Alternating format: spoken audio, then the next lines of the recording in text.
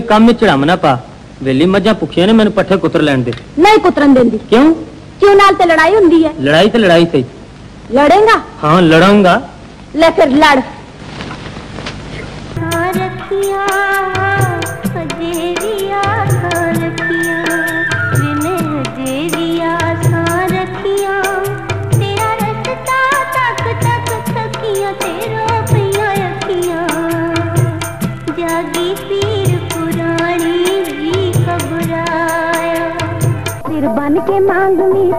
चंद्रा शकीर हो गया पे कैसे बताऊँ? तो मेरी अखियों के तारे, मैं तो बारी वाली जाऊँ। राज दुलारे नाजरीन, आप देख रहे हैं फिरोजा न्यूज़। मैं ताहिर बुखारी, प्रोग्राम दरख्शा सितारे के साथ हाजिर हूँ। आज हम जिस शख्सियत के बारे में बात करेंगे, वो पाकिस्तानी फिल्मी सनत की पहली कामयाब हेरोइन सौरन लता है। सौरन लता एक तालीमी याफ्ता अदाकारा थी, जिन्होंने बड़े वकार के साथ काम किया और उनकी तमाम फ़िल्में ब्लैक एंड व्हाइट थी। वो दरअसल ब्लैक एंड व्हाइट फ़िल्मों के दौर की हेरोइन थी। सौरन लता 20 दिसंबर सन 1924 को रावलपिंडी के एक सिख घराने में पैदा हुई। उनके वालिद सरकारी मुलाजिम थे, उनका तबादला रावलपिंडी से पहली हो गया। पहली में उन्होंने सीनियर कैमरेज यानी एफए पास किया। उसके बाद उनके वालद की ट्रांसफ़र लखनऊ हो गई।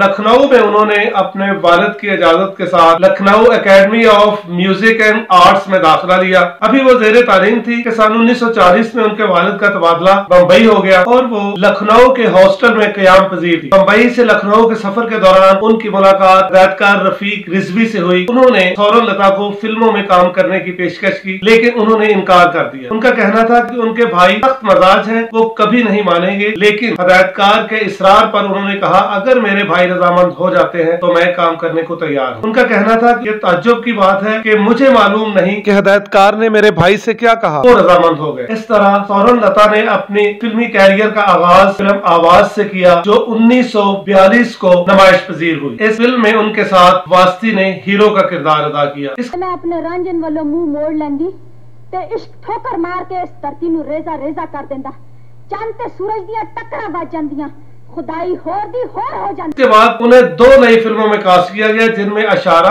और तस्वीर शामिल थी। तस्वीर मौसिका रशीद अत्रे की प्रोडक्शन थी और इसके हदायतकार नजम नकवी थे। ताहम उनकी दूसरी फ़िल्म अशारा रिलीज़ हुई, जिसमें उनके हीरो का किरदार पृथ्वीराज कपूर ने अदा किया। ये दोनों फ़िल्में उन्नीस में नुमाइश के लिए पेश की गई इसी वर्ष उनकी दो फ़िल्में रतगिया और इनकार भी रिलीज़ हुई। अगले वर्ष 1944 में उनकी एक फ़िल्म रतन ने धूम मचा दी। इस फ़िल्म की कामयाबी ने सौरन लता को शोहरत की बुलंदियों पर पहुँचा दिया। इस फ़िल्म के हदायतकार एम सादिक थे और हीरो का किरदार करण दीवान ने अदा किया।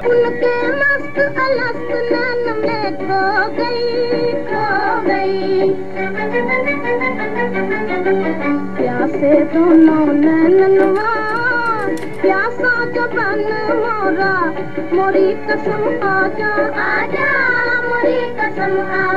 इस साल उनकी सात फ़िल्में रिलीज़ हुई। दीगर फ़िल्मों में उस पार बड़ी बात घर की शोभा महाराथी करना, रौनक और सूरना भूमि शामिल। 1945 में इनकी चार फ़िल्में रिलीज़ हुई। इनमें चाँद तारा प्रीतमा प्रीत और लैला मजनू शामिल है। लैला मजनू में उनके हीरो नजीर थे, जो उस जमाने के बड़े मशहूर अदाकार, फ़िल्म साज और हदायतकार थे। ये फ़िल्म उनकी ज़िंदगी की एक खास फ़िल्म साबित हुई। इस फ़िल्म की शूटिंग के दौरान दोनों में मोहब्बत हुई और शादी हो गई। शादी से कबल सौरन लता मुसलमान हो गई और उनका नाम सईदा बानो रखा गया। सौरन लता और नजीर के चार बच्चे पैदा हुए। एक बेटा असलम नजीर, बेटी इफ्फत किस्मत और तल्लक जब दोनों की शादी हुई, उनकी उम्र में 20 साल का फ़र्क था। अदाकार नजीर की उम्र इकतालीस वर्ष और सौरन लता की उम्र 21 वर्ष थी। 1946 में उनकी चार फ़िल्में रिलीज़ हुई। इनमें वामिक अजरा, शाम सवेरा, माँ बाप की लाज और इंसाफ शामिल है। उन्नीस में सौरन लता ने दो फ़िल्मों में अदाकारी के जौहर दिखाए। इनमें एक फ़िल्म आपदा और दूसरी घर बार। आपदा उन्नीस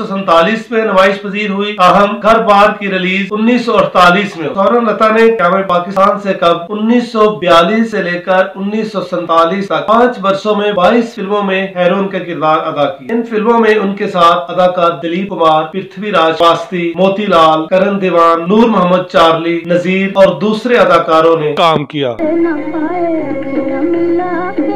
न घर माँ के चले नहीं जाना। चले नहीं जाना। हो चले नहीं क्याम पाकिस्तान के बाद नजीर अहमद खान और सोनल लता पाकिस्तान मुंतकिल हो गए। नजीर ने क्याम पाकिस्तान से कबल अपना फ़िल्म साज अदारा फरोख करके लाहौर में वसी ज़मीन खरीद ली थी। इस हवाले से सोनल लता ने सीनियर फिल्मी सहाफी साजिद जलदानी साहब को तफसील बताई, जो हफ्त रोजा निगार में शाये हुई। उनका कहना था की जब हम मुंबई से लाहौर आए तो हमारे पास कुछ भी नहीं था। यहाँ तक नजीर साहब ने जो जगह खरीदी थी, वो एक जंगल था। हम वहाँ बिस्तर की बजाय चादर बिछाकर सोते थे और हमें खाना बारी मलक भिजवाते थे। बदतर न होने की वजह से हम अक्सर रोटी के ऊपर सालन रख कर खाते इन हालात में नजीर साहब मुझे कहते हैं कि मैं बहुत शर्मिंदा हूँ। आपको इस हालत में लेकर आया हूँ। जब फसादात खत्म हुए और अमन कायम हुआ, मैं बम्बई वापस गई और वहाँ फ़िल्म साजों से बकाया जात वसूल किए, जो उस वक्त डेढ़ लाख रुपए बने।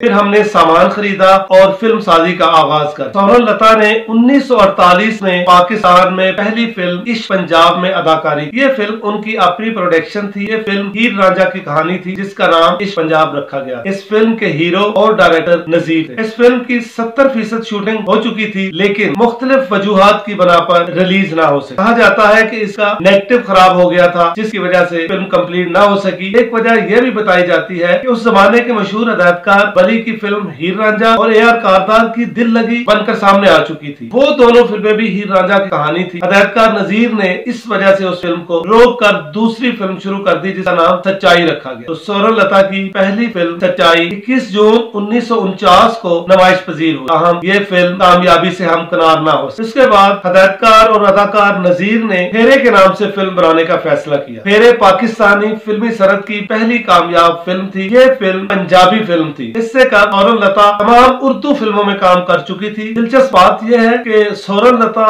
गो के एक सिख घराने में पैदा हुई, लेकिन उनके स्कूल और कॉलेज का जमाना दिल्ली और लखनऊ में गुजरा, इसलिए वो पंजाबी जबान बोलना नहीं जानती थी। फिर उन्हें उस जमाने के मशहूर फ़िल्म राइटर और नगमा नगार बाबा आलम सिया पोश ने पंजाबी में डायलॉग डिलीवरी सिखाई। वो उन्हें हर रोज रिहर्सल करवाते थे और उसके बाद वो शूटिंग पर जाती ये पाकिस्तानी फिल्मी सनत की पहली फ़िल्म थी जिसने सिल्वर जुबली मनाई। इस तरह सौरन लता पाकिस्तानी फिल्मी सनत की पहली कामयाब हीरोइन है इस फ़िल्म के गीत बहुत मकबूल हुए, जो आज भी जबान जदे आम है। गानों की धुने बाबा जी ए चिश्ती ने तख्लीक की और इसके गीत गुलकारा मुनव्वर सुल्ताना और अनायत हुसैन भट्टी ने गाए। उनका गीत, मैनू रब दी तेरे नाल प्यार हो गया विचरना सच्ची मुच्ची और अखियाँ लामी ना ते फिर पछतावी ना। बहुत मशहूर हुए। तू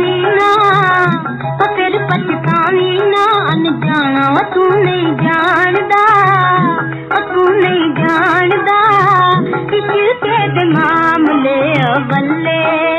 और अनायत हुसैन भट्टी ने फिल्मी कैरियर का आगाज़ भी इसी फ़िल्म से बतौर गुलकार किया। 1950 में सौरभ लता की दो फ़िल्में नुमाइश के लिए पेश की गई इनमें लारे और अनोखी दास्तान शामिल। उन्नीस सौ बावन में इनकी फ़िल्म भीगी पलके और उन्नीस सौ तिरपन में इनकी फ़िल्म शहरी बाबू रिलीज़ हुई। 1955 में सौरभ लता की तीन फ़िल्में नमाइश पजीर हुई, जिनमें खातून, नौकर और हीर शामिल है। हीर फ़िल्म में अदाकार और गुलकार अनायत हुसैन भट्टी ने पहली दफ़ा अदाकारी के जौहर दिखाए और इसका एक गीत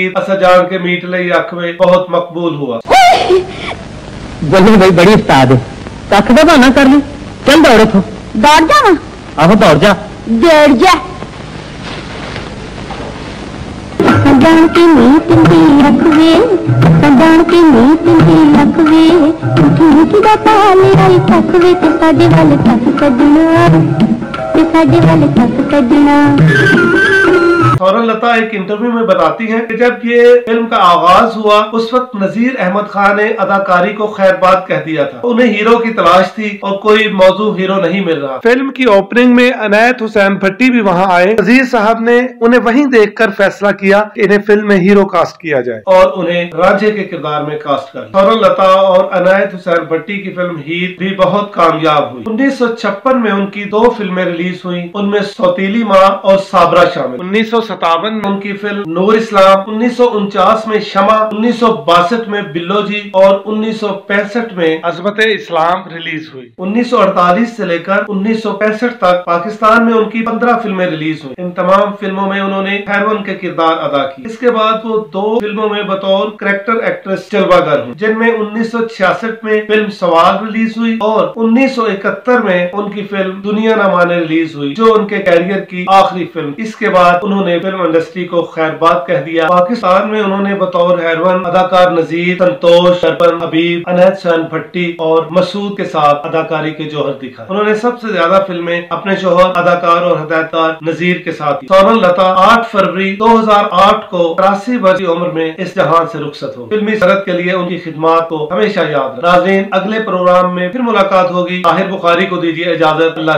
बाद